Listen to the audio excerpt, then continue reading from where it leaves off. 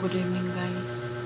Ah, ganito po mag ano, mag gusto niyo malaman kung magkano na yung pondo niyo sa revenue. Ganito, pindutin niyo yung analytic. Yan, analytic yan ha. Yan. Pagkatapos ng analytic, makikita mo dyan lahat. Ayan. Yan, sa paglabasan yan makikita mo yon overview sa taas. Content audience revenue research no? Unang-una overview. Yan makikita mo lahat yung sa overview kung ilan ang views mo. Sa 28 days within 28 days kung ilan ang na, nakukuha mong views lahat 69,000 sa 28 days yan ha tapos, sa watch time, makikita mo dyan, ilan ang sa watch time na kukuha mo sa 28 days. Subscribers, ilan ang subscribers na kuha mo sa 28 days. Tapos, ilan ang nakuha mo sa revenue within 28 days. Kasi, uh, minus na yan sa nag-close payroll sila nag-close payroll sila sa every 25 bali may may may umabot na ako ng 100 plus nung nung nakaraang ano ba ngayon? Nakaraang buwan. Yan kaya nag-umpisa na naman ako ng pundo. Kaya ganyan lang yung nakuha ko kasi di ba minsan lang ako nag-live. Ayan. Tapos dito makikita mo yung advanced mode.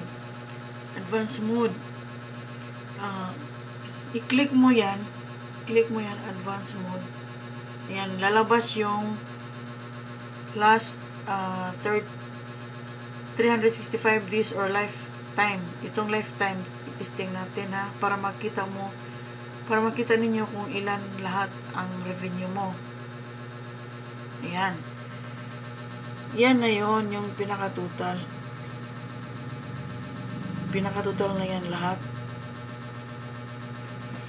Bali, sa pinaka-total na lahat, sa 365 days, 365 days ba yung napindot ko?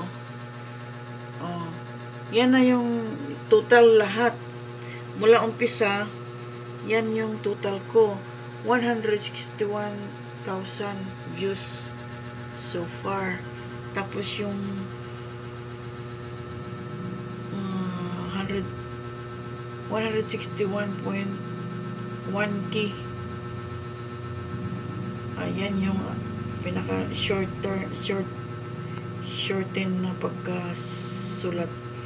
Tapos total watch time ko 7.9k tapos yung total ay total subscribers ko 7.2 tapos yung total revenue ayan 251 total revenue lang yan pero nakuha ko na yan kalahati niya nakuha ko na. Yan lang guys ha ang pagka ano ha so pindutin natin yung content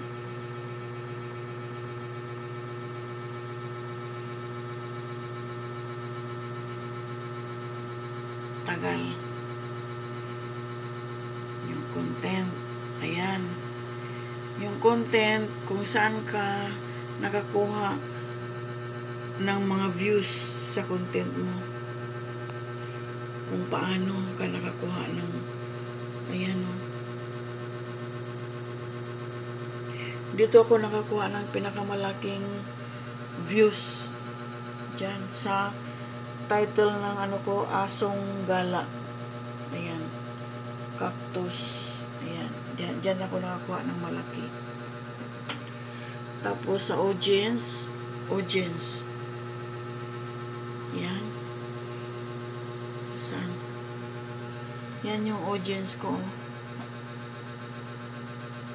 May blue at saka violet. Ayan. Ngawit ng kamay ko. Yan lang guys muna. Saan ba yung iba? Hmm. Diyan makikita sa baba. Mas maganda kasi computer ang gagamitin nyo or laptop. Yan. Ang pinaka-highest na ano ko, top geographies, yung pinaka-highest na, yung lugar na laging tumitingin sa channel ko, Philippines. Philippines, India, United States, Indonesia, Vietnam, ayan, meron pa, Seymour, ayan, Vietnam, ayan lahat, oh. Tapos yung views na nakukuha ko, yan, oh.